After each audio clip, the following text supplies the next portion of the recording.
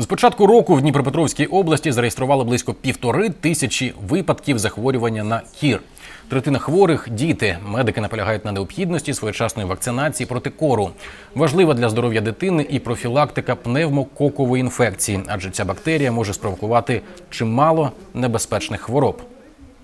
Вакцинация позволит снизить заболеваемость на э, пневмококковый менингит, э, э, сеп- сепсис, пневмонию, острый средний отит, которые, с одной стороны, дают у детей до пятилетнего возраста достаточно высокую летальность, с другой стороны, менингиты и сепсис дают осложнения почти в 25% случаев.